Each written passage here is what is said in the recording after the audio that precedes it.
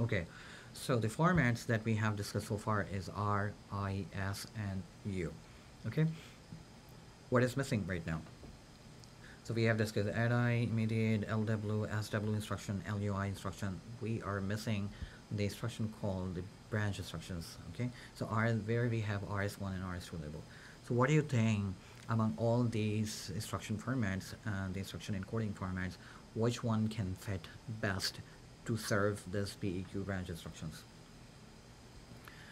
So give it a pause and try to answer it. Um, so you see in branch instruction we have RS1, RS2 and the label which is the 12-bit immediate data.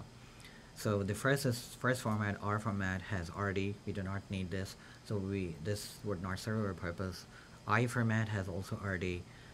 S format has RS1 and RS2. It does not have RD, so it could serve our purpose. And of course, U format cannot serve our purpose. So S format is the best format that we can use to represent BEQ instructions. Okay, but there is a problem. And what is that problem is the offset in branches. So let's talk about this. The full instruction address is 32 bits and there are only 12 bits to encode the target address. So instead of the, so um, before I approach this problem, I'd like to tell you about, um, discuss the scenario here. So for example, we have, let's say, this is the instruction memory and we have first instruction, second, third, four, and so on. Okay, 4, 8, 12, 16, 20, and so on.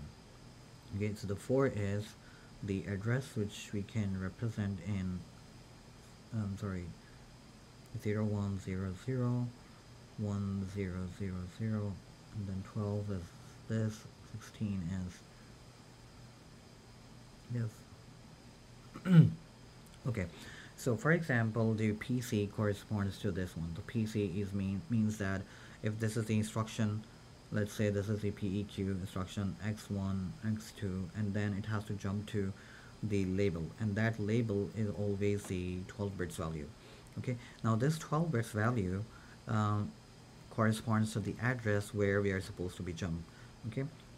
So for example if we if the current instruction is at this address let's say it is at 4 okay? So let's say this is the current instruction okay? And it has to jump to label 16 let's say let's say it has to jump to 16 okay? Here. Now assume that um, the immediate immediate field is 4 bits only. Instead of 12 bits it is for the time being assume that it is 4 bits only. So 4 bits means that we can store the address of the instruction which is 4 which is 8 and 12 but for 16 we cannot store this address okay? So that is a limitation. So just like in the 4 bit the scenario um, we cannot actually reach to the address 16 because of these 4 bits. Similarly, there is also a limitation in 12 bits immediate field.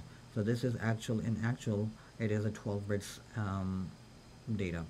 So what we do is we are trying to optimize to um, to reach as farther as we can in the instruction memory because if you are writing for example you're writing a code if some condition and then you have a long series of instructions here if our uh, processor is not able to reach that far in the memory like for example um, starting from here sorry starting from this point if it cannot reach until this point um, any anywhere in the memory then there will be of no use of using this if else structure because there uh, will be a huge limitation. So for example we have let's say 12 bits of data so what address uh, we can reach to? So 2 to the power 12 minus 1 which is uh, 2048 so this is minus 2048 to 2 to the power 11 minus 1 which is 2047 actually so which is actually 2046 which has to be multiple of 2 or multiple of 4 we will talk about it later. But you get the idea that if if we have some restriction that how many number of instructions we can enclose in the if block or the else block, then it, it, it is considered as a drawback that we cannot write that many instructions because our our our processor cannot reach to um, to to the instructions written far in the memory. Okay? So what we are trying to do here is what the designer is trying to do here is they're trying to increase the reachability into the memory. So instead of storing the actual address the actual address of the instruction 16 what they do is they actually store the offset. Offset between the PC the current value and and the instruction, the branch instruction it has it is supposed to be jumping to. So it will only store the difference between this. So if if you follow this approach, what we do is the PC is currently at four and the branch we have to jump to has the value 16 so it will only store 16 minus 4 which is 12 okay so the label will have the value 12 and before actually executing or calculating the actual address where it is supposed to be jumping it will perform 12 plus this 12 plus the PC4 which which I will explain it in, in this slide also. So the 12 can be represented in 4 bits okay? And the 4 can also be represented in 4 bits. So we have actually increased the reachability in the code by following this approach okay? So this is one thing that has been used to optimize the reachability in the instruction memory okay? There is another thing that um, that has been uh, done which I will be talking about later but um, yeah so instead of full address we store the offset a smaller number in the 12 bits the offset is the distance between the target address and PC okay? The target address is relative to PC this is what generally referred as PC relative addressing. So here with the help of this the reachability which is the green instruction that can be reached the green area can be increased with the help of this approach. So instead of storing the actual address we just store the branch offset. The difference between the PC where the, the address of the PC and where it is supposed to be jumping at okay? So when encoding branches, assembler calculates the offset. So the branch offset, how the branch offset is calculated, so target address where we are supposed to be jumping minus the the current instruction address okay? So if this value is greater than zero it has to jump forward. If it is less than zero it has to jump downwards okay? And um, yeah so when processor executes the instruction it forms a 32-bit immediate from the 12 bits in the machine code okay? So the target address is calculated with the help of PC plus immediate data so the immediate data which we were storing in this example that I gave you we were storing 16 now we have to store only um, what's that? It's, uh, we only have to store 16 minus 4 which is 12 and that can be represented in 4 bits. So that will actually help us um, increase our reachability within the limitation. So I gave you an example of 4 bits that exactly holds true for the 12 bits. Okay, so in, instead of 2048, we can actually reach to the um, um, more um, farther um, instructions in the memory. Another optimization they have done is, uh, before I talk about it, just recall the memory structure, how the memory organizes.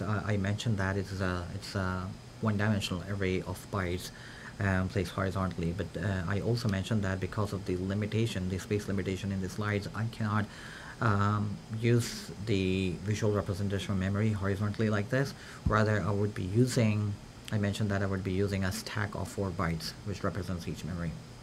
Okay, so now after this, um, um, quick recall um, words and half words have alignment issues. So when aligned, address of words must be a multiple of 4. Okay, address of half word must be a multiple of 2. So for example, if you are accessing half word, so the address must be a multiple of 2 and that makes sense. Okay, so RISC-V does not require data to be aligned. However, instructions must be aligned, which means that, for example, this is the first instruction, 32-bit instruction, for example. This is another 32-bit instruction, another 32-bit instruction. But if we read the instruction from this point, if we start reading the 32 bits from this point onwards until this point, we could read the 32 bits data, but that may not be a valid instruction according to the processor because the opcode is actually starting from this point and we are actually reading the instruction from this point. So opcode, it, it will definitely get the first seven bits, but they that that value may not represent a valid opcode, or maybe it may represent a valid opcode, but it might be a different operation. So um, uh, it will not execute um, correctly. So we have this instruction memory 32 bits wide and main or data memory is also 32 bits wide we assume that all the instructions are 32 bits okay but there are so each instruction is 32 bits wide offset of 4 bytes. There are some instructions in C that are 16 bits wide or two two words okay or the half word. Can be located at any even address.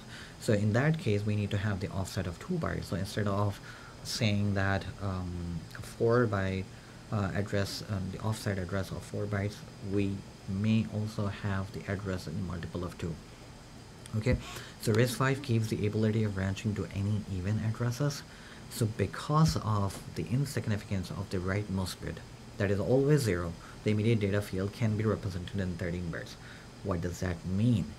So before um, I proceed ahead, let me go back to the um, whiteboard again and if we tell you that uh, suppose that we have these instructions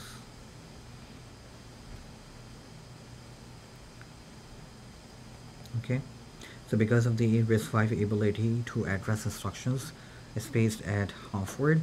So the address of for example the address of the first instruction would be 0 0 0 0 the next instruction would rather than be at 4 it would be at 2 okay? And then the next instruction would be at 4 and then the next instruction would be at um, 6 and then 8 and then so on. So you see that this bit is constantly 0 so there is no point of storing this bit so they say that um, instead of storing this bit what we do is we store the 12 bits immediate data but considering it as a 13 bit value. I know it's a little bit uh, confusing to understand, but what we what they do is they, for example, um, this is the 32 bits, let's say, sorry, 12 bits value of an address where, um, let's say 1, 2, 4, 8, 16, 32, 64, 128. Let's say we have the EQ X1, X2, and 128, okay? so this is uh, this is how the instruction should be storing the immediate or the address value for example okay so they say that um, because of this the insignificance of the zero they will not consider storing this value rather they will store another bit on the leftmost side. And because of this instead of accessing 2 to the power 12 minus 1 which is 2048 minus 2048 they could actually reach to a value 2 to the power 13 minus 1 which is minus 4096 to 2046 and here 409 sorry 2048 4096 and 4095 and here is 40 2047 okay so only because of not storing this value instead of 12 bits we can store a 13 bits value.